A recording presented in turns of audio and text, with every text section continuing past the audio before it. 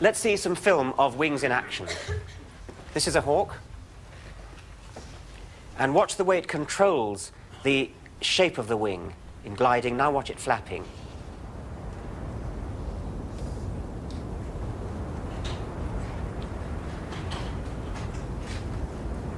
Not entirely surprisingly, creationists are also very fond of wings. And they uh, once again make a similar point about what's the good of half a wing, what's the good of three quarters of a wing. How could something like those wings have evolved from the silly little wing stubs that must have been there at the beginning of the evolution of wings? Well, let's tackle this with another little Bryson special. These are not exactly flying creatures. They live up trees and they have wings to show they're creatures. They also have little eyes to show that they're creatures. Uh, they live up trees, and if they were to fall from the trees, they would uh, have been at, in, at risk of breaking their necks.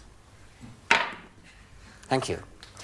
Both of them, in this case, uh, from this low height, one with a little skirt and without a little skirt, uh, survive the, the, the breakage. At this depth, you don't need a little wing. This is a wing stub, call it a flange or a wing stub. It's not become a wing, but we're looking at the ancestral uh, stub that might eventually have evolved into a wing. When the height is sufficiently low, then nobody's going to break their neck. But if we raise the thing a bit, very carefully, Sometimes these animals are going to find themselves leaping from higher branches. And at, from higher branches, it may be that these little, even pathetic little wing stubs like this might make a difference. Let's see what happens now. Right. Now, in this case, from that higher level,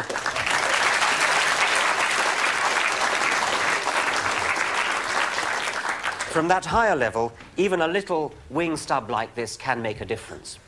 And once you've got the evolution of a wing stub this long, then natural selection may favor the, the wing stub getting a bit longer still because there's going to be an even higher height that you could fall from, where the difference between a wing stub that high and between a wing stub that high might make a difference. And the point is that we have a smooth gradient all the way up higher and higher heights that you could fall from to drive the lineage, to drive the species towards ever longer wings. Controlled gliding has in fact evolved many times over. There are many creatures that have the equivalent of half a wing. This is a snake, a tree snake, crawling along a tree. So far it looks like an ordinary snake.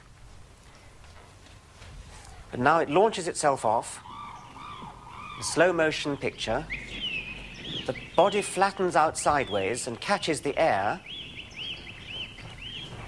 It's steering itself down, and it's going to land on another tree without hurting itself.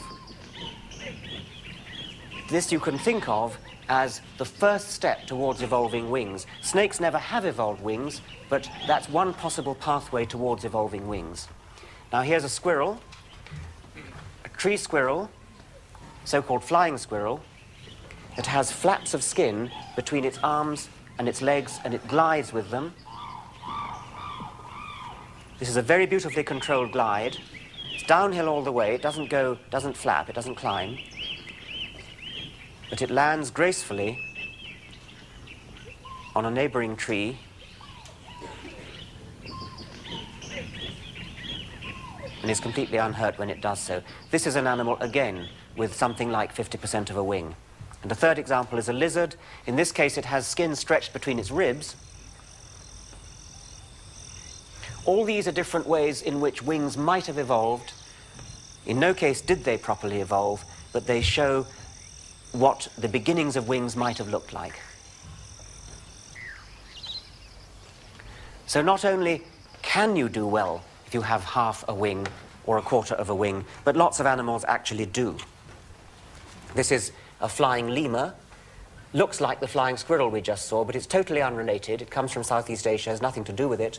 And I think you can easily imagine how that could eventually give rise to something like that, a flying fox, which is a bat. That has proper wings, that's as good as a hawk.